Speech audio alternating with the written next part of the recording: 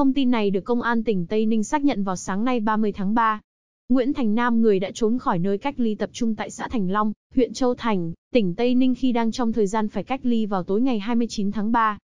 Theo thông tin ban đầu Nguyễn Thành Nam sau khi trốn khỏi khu cách ly tại Thành Long, Châu Thành, Tây Ninh đã về Hà Nội. Vào hồi 22 giờ 30 phút ngày 29 tháng 3, công dân Nguyễn Thành Nam, sinh năm 1992, hộ khẩu thường trú, khu 10, Bồng Mạc, Liên Mạc, Mê Linh, thành phố Hà Nội được vợ Hồ Thị Thanh Thủy, sinh năm 1993 đưa ra trạm y tế xã Liên Mạc, khai báo việc trốn khỏi khu cách ly tại huyện Châu Thành, tỉnh Tây Ninh.